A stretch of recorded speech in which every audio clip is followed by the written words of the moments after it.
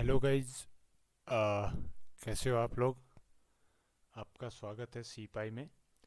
आज स्टार्ट करने जा रहे हैं एक इंपॉर्टेंट टॉपिक और एक इंपॉर्टेंट क्वेश्चन और क्वेश्चन रिलेटेड है आपका एक बेहतरीन ऑर्गेनिक केमिस्ट्री का क्वेश्चन है। क्वेश्चन क्या है? क्वेश्चन को लिखते हैं। देखिए, एक क्वेश्चन दे रखा है उन्होंने। वो बोलते हैं कि एक कंपाउंड है आपके पास। और उस कंपाउंड का नाम है C nine H ten O ये कंपाउंड है ऑर्गेनिक कंपाउंड और इस कंपाउंड की कुछ खासियत है, बोलता है। खासियत क्या है? कि पहला तो ये देता है, ये कंपाउंड ये कंपाउंड देता है two comma four D N P test देता है, बोलता है। क्या देता है? डी एन पी टेस्ट ठीक है? और दूसरा बोला कि ये जो कंपाउंड है, ये टॉलन रिएजेंट को टॉलन रिएजेंट को क्या करता है? रिड्यूस करता है। रिड्यूस करता है। थर्ड बोला गया कि कैनीजारो रिएक्शन भी देता है। कैनीजारो रिएक्शन देता है। ठीक है? कैनीजारो रिएक्शन देता है। फोर्थ ये बोला गया कि अगर मैं इसका ऑक्सीडेशन करवाता हूँ तो ये कुछ इस टाइप का कंपाउंड भी देगा। ये कुछ इस टाइप का कंपाउंड देगा और यहाँ पे सी ओ ओ एच लगा होगा और ये भी क्या लगा होगा बताओ? सी ओ ओ एच लगा होगा। ये क्वेश्चन पूछा और ये पूछा कि भाई ये जो है आपका कौन सा कंपाउंड होगा, ठीक है?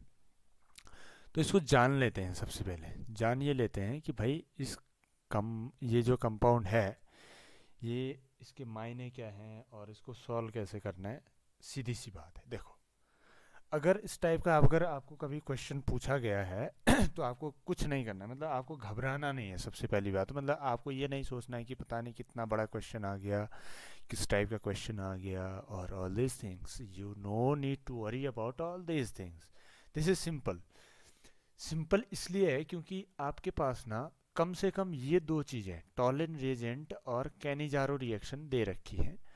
तो बेसिकली, चलिए एक बार के लिए ना टॉलिन रिएजेंट को आप नहीं भी जानते तो कैनिजारो रिएक्शन को देख लेते हैं।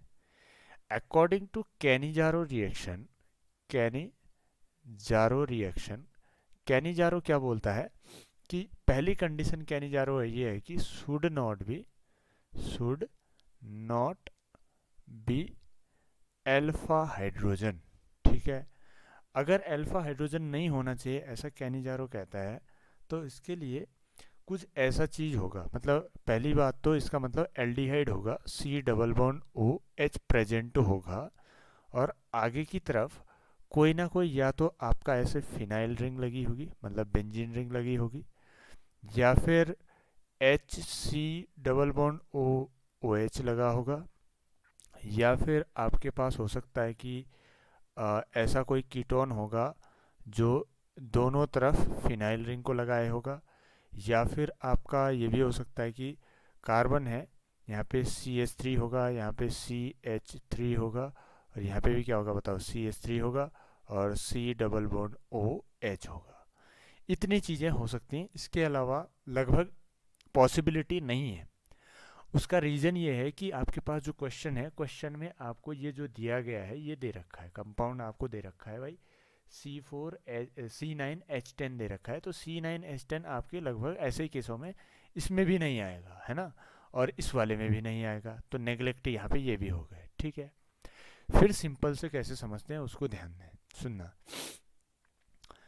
बेसिकली अगर आप ये कहें कि आ, ये रिड्यूस हो मतलब ऑक्सीडाइज हो रहा है मतलब C nine H ten O अगर रिड्यूस होके मतलब सॉरी ऑक्सीडाइज होके, सुनना ऑक्सीडाइज होके अगर आपका कुछ ऐसा कंपाउंड बना रहा है, कौन सा वाला बताओ? ये है, ये कंपाउंड है, यहाँ पे भी सी ओ ओ एच लगा हुआ है और इधर भी क्या लगा बताओ? सी ओ ओ एच लगा हुआ है। तो ऐसे केस में चीज़ें क्या होंगी, उसको समझें। देखो, एक तो पक्की बात है कि एक बेंजीन रिंग रही होगी, है ना? बेंजीन रिंग पक्का रही होगी। अब बेंजीन रिंग के ऊपर, सुनो, बेंजीन रिंग के ऊपर हो सकता है C double bond O H group रहा हो। इस, मैं क्यों बोल रहा हूँ ऐसा? क्यों इसीलिए? क्योंकि देखिए, एक तो अगर यहाँ पे एल्डिहाइडिक ग्रुप होगा तो कैनिजारो रिएक्शन होगी। दूसरा, जो हमें ये प्रोडक्ट मिल रहा है ना, ये सी ओ एच दो मतलब di carbo di carboxylic acid, one two di carboxylic acid जो मिल रहा है हमको बेंजीन के ऊपर। ये कहीं ना कहीं इसको भी बता रहा है कि भाई बेंजीन रिंग तो प्रेजेंट होगी। अब आगे चलते हैं भाई। टोलन रिएजेंट को कौन रिड्यूस करता है? एल्डिहाइड। इसका मतलब परफेक्ट हो गया है। मतलब यहाँ पे पता चल गया है। फिर चलते हैं। कैनिजारो पता चल गया हमें। टोलेन चल गया है। तो डीएनपी डेरिवेटिव का भी चलते हैं।